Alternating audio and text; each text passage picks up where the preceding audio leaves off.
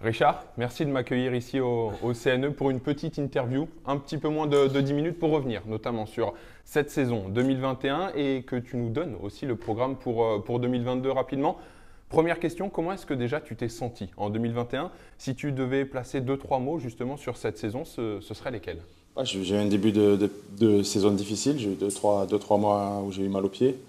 Après, j'ai eu le Covid, donc j'ai commencé la saison en, mai. Quoi. Mhm. Et tu sais bien que quand on s'arrête, voilà, retrouver l'intensité, c'est compliqué. Encore plus à, à 35 ans, c'est pas facile de, voilà, de repartir. Quand tu t'es blessé, c'est beaucoup plus dur qu'à 20 ans. Donc, ça n'a pas été une saison, euh, une saison facile. J'ai eu peur à un moment donné que, que j'ai d'avoir du mal à revenir. Après, j'ai réussi quand même à faire quelques, quelques bons matchs et sauver, ma place un peu dans les, dans les 100 premiers, quoi, parce que ce n'était pas, pas sûr que, que j'y arrive. Voilà, donc c'est pour ça que je repars sur une autre, une autre saison, savoir que je peux jouer à l'Open d'Australie. Euh, ça me motive et c'est pour ça que, je continue. ça a été une saison un petit peu en, deux temps.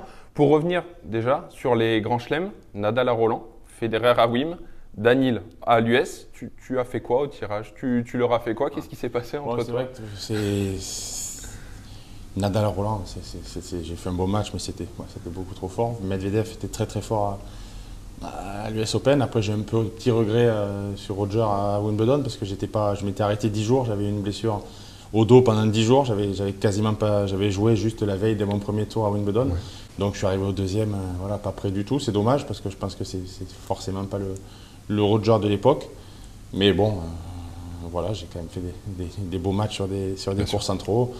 C'est pour ça que, comme je l'ai dit, que je continue à, m'entraîner, à jouer. Et tant que, tant que tu es dans les 100 premiers, bah, je joue parce que c'est, toujours très motivant de jouer, de jouer encore sur ces, sur ces cours-là et d'avoir toujours ces, ces sensations de, de jeu et de pouvoir jouer des, joueurs comme ça. C'est des moments incroyables qui sont sur, euh, sur le court. Tu disais Nadal à Roland, c'est trop fort.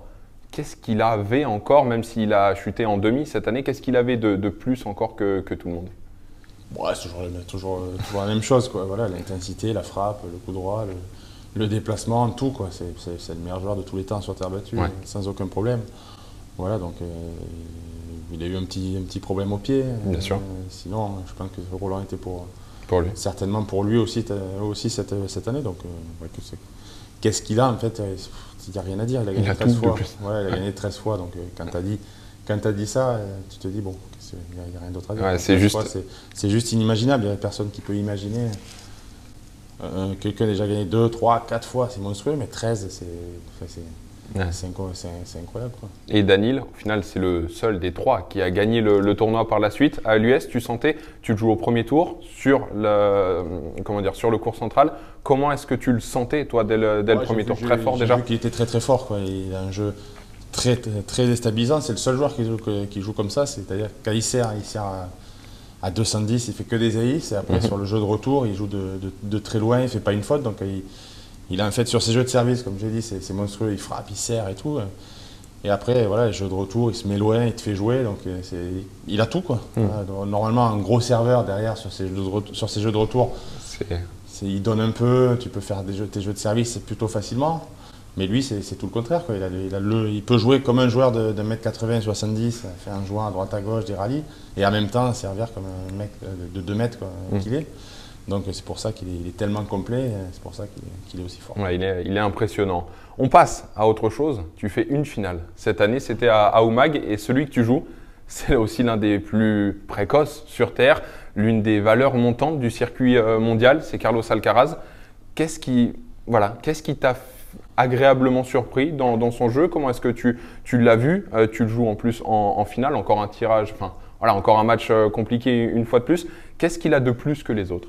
Bon, ça va être certainement un vainqueur de, Grand Chelem. Qu'est-ce qu'il y a de plus il est, bien, il est entraîné par Ferrero déjà, ce qui est quand même une, valeur sûre, ce qui est à cet âge-là une chance énorme d'avoir un joueur qui a été numéro mondial. Et après, bah, il a du talent, quoi, tout simplement. après, euh, voilà, il y a le travail, il y a tout. Beaucoup de mecs travaillent, mais après, il y a un facteur talent euh, qui, que, tout le monde n'a pas, quoi, hein, tout simplement. Quand, ça, quand, il frappe la balle, il se passe quelque chose. Quoi. tu lui prédis un grand chelem oui, bah oui, oui c'est clair. ça va être, euh, il, va, être très fort s'il a tout. Il a, il a, le caractère, il a la tête, il a le physique, il a l'envie. Voilà, il est bien entraîné. Oui, tu sens que normalement, ça fait certainement un vainqueur de, Roland Garros. En tout cas, dans, les potentiels, c'est clair qu'il va être, il va être très, très fort. Il a doute à ça. Ça, va, ça va monter très vite pour, euh, pour le jeune espagnol. On a parlé des tournois, on a parlé des matchs qui étaient un petit peu plus compliqués, mais ça aussi, euh, enfin la saison 2021 a aussi marqué ton retour, même si tu en avais déjà fait quelques-uns avant, mais sur les challengers, dans les qualifications des, des tournois.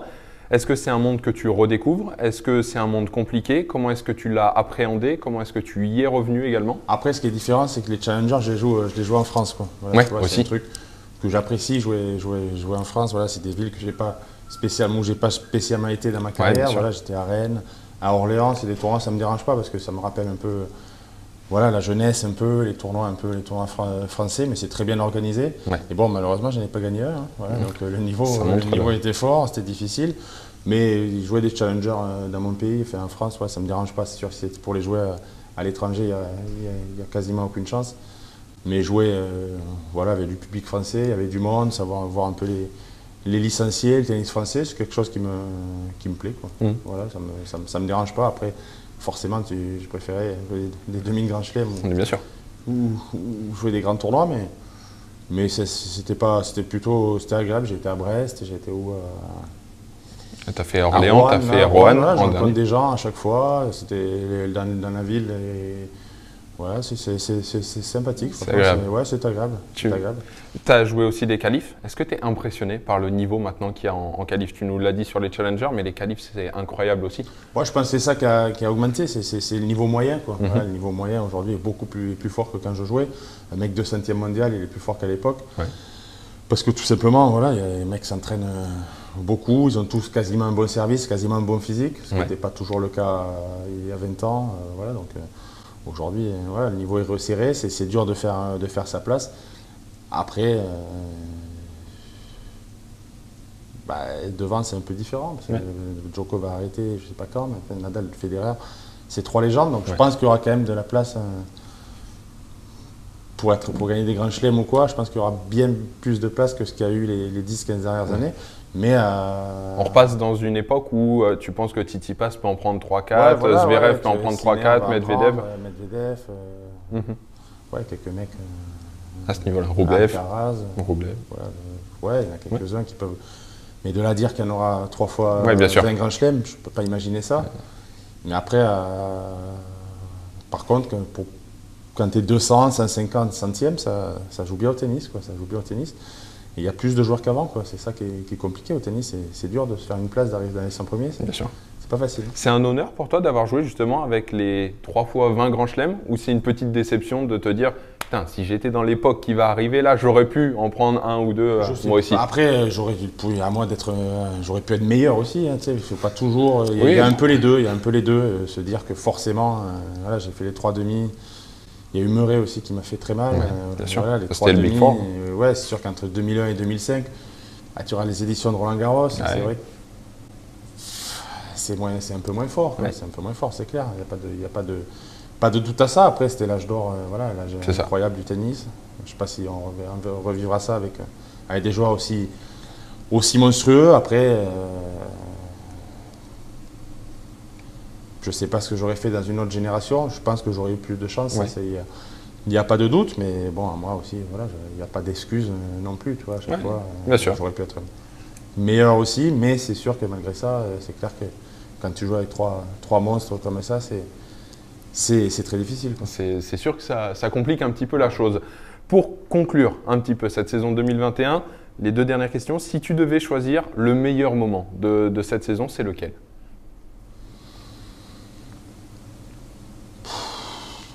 Ouais, c'est de, de, de pouvoir continuer. Déjà, c'est pouvoir continuer à jouer, vraiment, parce que j'ai eu peur en début de saison. J'étais vraiment, vraiment blessé, j'avais du mal à, à repartir. C'est de, de pouvoir faire une autre saison. Je ne pensais pas, sincèrement, je vais avoir 36 ans au mois de juin. Je ne pensais pas du tout euh, à cet âge-là encore jouer, euh, surtout que j'ai commencé jeune. Donc voilà, je suis dans les- toujours dans les 100 premiers, je peux jouer, donc euh, je suis heureux par rapport à ça, parce que j'ai- du plaisir à être, à être sur le circuit. Là, je vais repartir à Melbourne, ça me fait, ça me fait plaisir, donc ça, c'est, cool. Après, le meilleur moment de cette année, forcément, j'en ai moins, que, moins qu'avant. Bien À sûr. je peux te dire, voilà, en 2015, je fais demi-Wimbledon, c'est facile à dire, quand tu gagnes des tournois, ou, euh, Ouais. la Coupe Davis en 2017. Là, forcément, je vais, je avoir plus de mal à trouver des, Ok. des- des énormes moments. Mais après, ouais, jouer, je t'ai dit, la chance encore de pouvoir jouer sur les grands cours. Sur les grands cours. Federer, jouer Nadal à, à Roland Garros, ça reste des, des bons moments, mais je te prendrai juste voilà, toute, toute la saison et de pouvoir en profiter encore une année du, du circuit, parce qu'on ne sait jamais quand cela peut arrêter. Et la plus grosse déception de, de 2021 J'ai été Ok. vraiment mauvais. C'est une déception. Très mauvais. Ok, ouais. dire le contraire. Forcément. J'ai été mauvais après. Il y a des moments. Après, euh, ouais, il y a des moments plus difficiles que, que d'autres, mais là, je n'ai pas été bien. On passe à 2022. Euh, quel est déjà le, programme de 2022 Quels sont les objectifs? Où est-ce que tu as envie d'être à la fin de 2022 ou déjà même à Roland Garros Tout dépend où est-ce que tu t'es fixé les objectifs. Voilà, quelles sont tes, envies et tes ambitions? ne pas se blesser surtout parce que sinon c'est beaucoup trop compliqué. Voilà, après euh, je me suis quand même bien entraîné cet hiver, ça s'est bien, bien passé. Après, euh, faire une année pleine, voilà, se faire plaisir, pouvoir vivre euh, des, bonnes sensations sur le cours, des émotions encore, c'est pour ça que je joue, c'est voilà, le public. Je me régale encore d'aller m'entraîner, de jouer, tout simplement, pouvoir jouer au tennis du mieux, du mieux possible. Et voilà, essayer de voir si c'est la dernière année ou s'il y en aura encore une en 2023, je ne peux pas te, pas te répondre, mais faire le maximum en tout cas pour, pour continuer au meilleur niveau possible.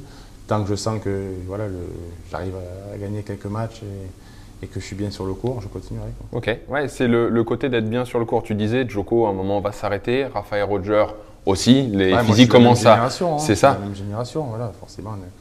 Nadal à mon âge, c'est sûr que Roger, c'est Roger, c'est monstrueux, voilà, mais après forcément, quand tu as 35-36 ans, c'est déjà. Tu n'iras pas plus loin. Enfin, on le sait, les, quatre, euh, les fameux quatre mousquetaires, comme, je vais, je vais aller jusqu'où je peux, mais après l'intensité, euh, le niveau de jeu, c'est difficile. Hein. Bien sûr. Voilà, il y a des jeunes et les places sont chères. Après, les mecs, voilà, quand tu es sur le cours, ils veulent te battre, c'est normal. Mhm. Donc, c'est la sélection naturelle. Quoi. Après, on verra. Mais en tout cas, je vais faire le maximum pour essayer de, de continuer le plus longtemps possible tant que, tant que le plaisir est là. Quoi. Eh ben écoute, c'est tout ce que je te souhaite en tout cas, Richard, pour euh, cette saison 2022 qui va commencer en Australie, qui continuera après, en espérant beaucoup de victoires pour toi et surtout de rester dans ce top 100 bah, qui, te plaît avec l'envie, le physique bah, et toutes ces choses-là. Un grand merci à toutes et à tous qui avaient regardé cette vidéo. N'oubliez pas de vous abonner, n'oubliez pas de liker et puis il y aura plein d'autres contenus qui vont arriver d'ici les, les, prochaines semaines. Encore merci Richard et à la prochaine. Ciao